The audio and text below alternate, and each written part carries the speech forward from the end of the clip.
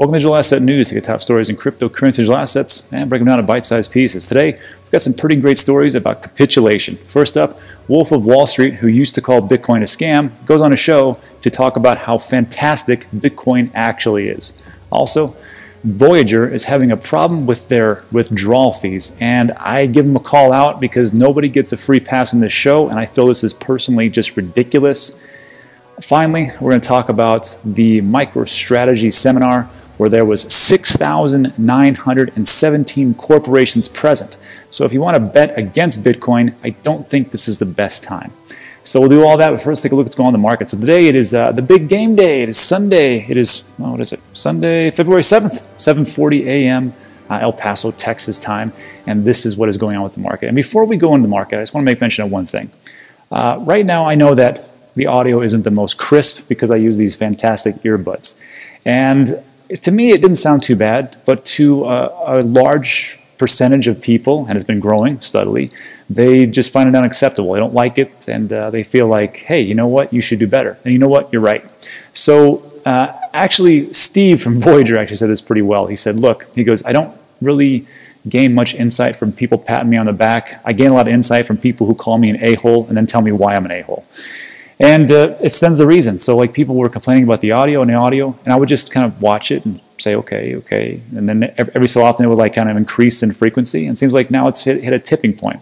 And this person, uh, male or female, I don't know, Do Fox sent me a great response. Because not only did he say, this is unacceptable, he goes, this is how you fix it. He says, I really enjoy your content. Could you please spend, spend some of this crypto on a Shure SMB58 a Cloud 9 line adapter, and, a, and any 196 kilobytes per second 10-bit USB 3 interface with a sound control. I was like, I don't know what the hell that is.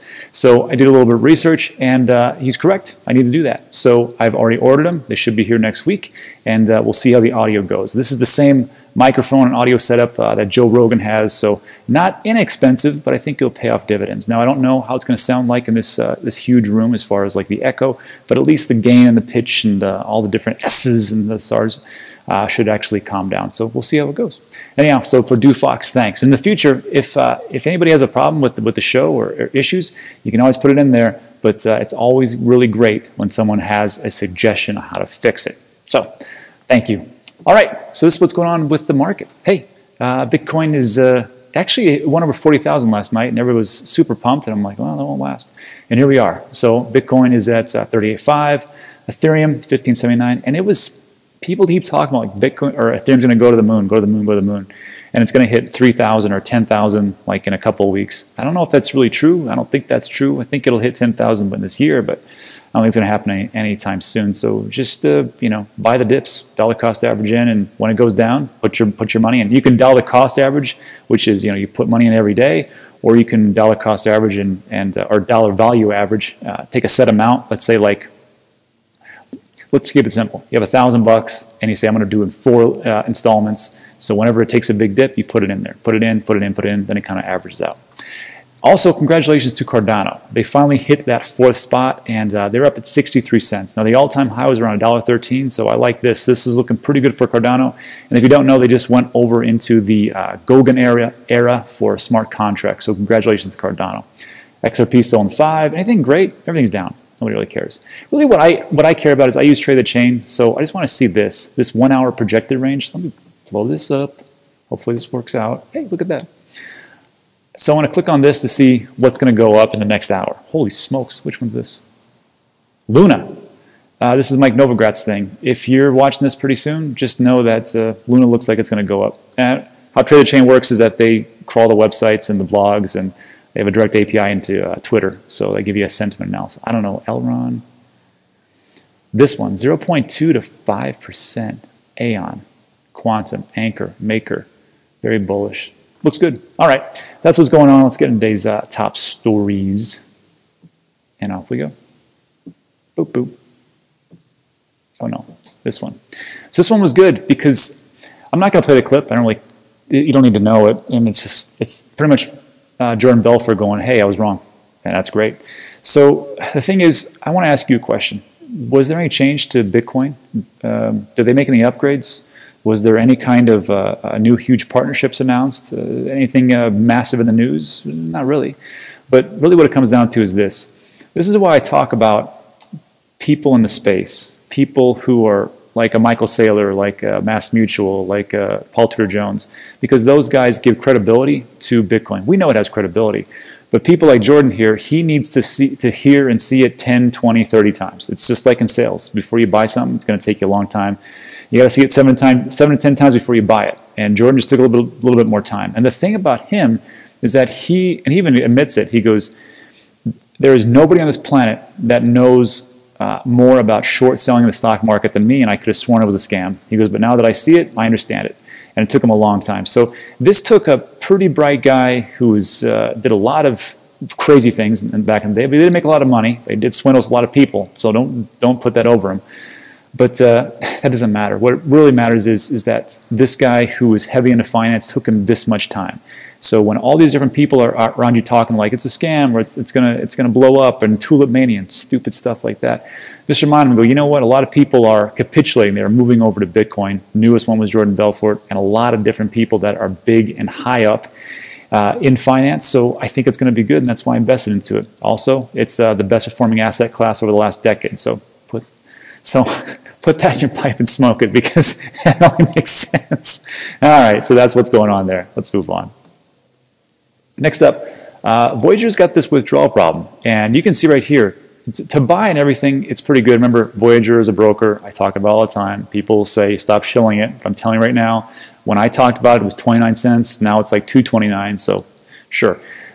But again, nobody gets a free pass. So when I see problems, I point it out, and this is a problem. The problem is, is that the um, uh, withdrawals are just out of control. So Cardano is almost it's at 63 cents. It might hit a dollar pretty soon. So if you get a, if you got to spend 20 dollars, which if if one Cardano is a dollar and it, it, takes 20 Cardano to withdraw, you're spending 20 bucks for withdrawal.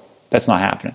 Uh, Band, BAT, Bitcoin Cash, and if you do the conversion, it's like between five and seven bucks. I'm like, what the heck is going on? So I said, hey, these fees are ridiculous. Come on, Voyager, you can do better than this. But it is, right? I mean, do you want to pay that? I don't want to pay that. So this is I tweeted this out last night. Then a couple hours, I get this from the CEO, Steve. He says, we'll do a review of these over the next few days. So that's good.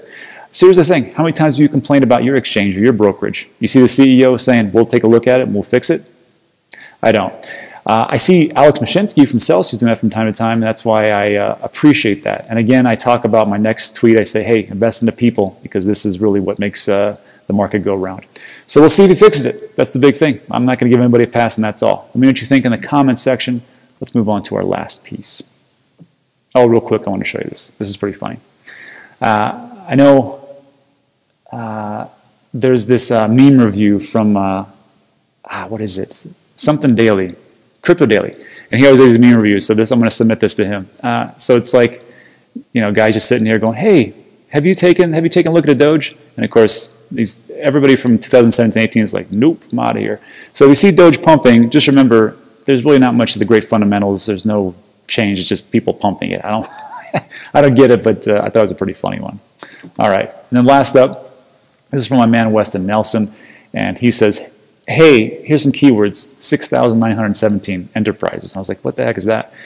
And then uh, Alex sent out a tweet. He goes, If you don't understand that 6,917 corporations were in the MicroStrategy seminar when they gave everybody the Bitcoin playbook, you don't really know what's going on. I was like, That's a lot of people. So, again, I want to bring it to your attention. Just like Jordan Belfort here, people are capitulating. If you had, whoops, if you had almost 7,000 corporations attending your events so could, they could figure out how to get their hands on Bitcoin, which is only 18.5 million. I think it's only 16 million with things that are lost. Do you really want to bet against Bitcoin? Well, I can tell you this: there's a lot of people that are on the sidelines and they're they're going to short it, and we've talked about this in our uh, last uh, couple of videos, and we've gotten confirmation from the block and also from Alex Mascioli, head of Bequant Services. He said a lot of people were hitting him up for uh, billions to uh, short Bitcoin. So if they want to do that, good luck to you. I think you're going to get your face ripped off, and I'd love to see it. I will just be dollar cost averaging, sitting in the background with my popcorn. That's all. All right. And then lastly, I just want to make mention of uh, this last little piece here.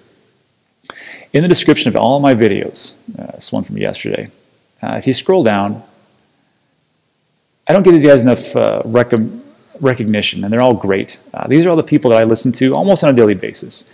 I know not a lot of people do this, but uh, I, I feel like it's important for you to get rounded information, not just from me, but from everywhere else that you can see. Because, like, there's some difference of opinion. Like me and Coin Bureau, we have a different way of doing things, and uh, he's really good for like breaking things down and doing different project reviews, which I really usually don't do. Uh, Alex, he's really great because he's behind the scenes guy. I mean, like I said, he's the head of institutional investment. He's the one that tells me all the things about, you know, what these big institutions are doing and how they're moving. And it kind of uh, makes my uh, videos better. Hashoshi, he's a guy that does a lot of things. He's a developer, and he breaks things down in that. So if you're like more of a nuts and bolts guy, this is your guy. Crypto Nobes, he's great because he's like a Downton Abbey UK guy, and he's like he's like I speak kind of slow sometimes, and he speaks real slow and real meticulous. So if you like that, that's your man. Crazy for Cryptos is great because uh, Digital Day is the one that, that, turned me on to Theta and a couple of other projects. Um, and uh, Bitcoin Cash, one of them. So I like him. Check him out. Bitcoin Family, I like Didi because he is, uh, you know, he's done what uh, a lot of us would like to do: dump everything and then travel the world and bet on Bitcoin big. And then lastly, Weston Nelson. Uh, he's from our uh, Trinity Trading, and he's new, so I'm trying to help him out uh, by getting his, his channel started. He's more of a sentiment guy. So if you were, you know, if you, if you looked at this Trade the Chain, and you like this little part here, where we're talking about the one-hour projected range uh, he's your usually guy. There's one more I left off. I need to add him back in. Is Blockchain Bulls. You can take a look at him. That's Jeff from um, Altcoin Buzz. He just got a new channel. So uh, again, a lot of people don't do it. I do it. This is what I feel is uh, important because uh, don't just get the information from me. You got to get from a lot of sources. And uh, again, not not um, investment advice, but I think it's important. All right, so you made it to the end. Congratulations. If you liked the video, why don't you give a thumbs up? And then uh, if you want to hear more, why don't you subscribe? Because it's pretty time sensitive the things we talk about, the news and whatnot. So just do that, hit the bell, and I'll you know send you the information as fast as I can. Uh, also, if you like these types of videos, there'll be two more that's going to pop up on your left and right. Not sure, let YouTube do its magic, and that is it. So uh, everybody enjoy the big the big game. Tell everybody about uh, crypto during the uh, the halftime show, and uh, I'll see you on the next one.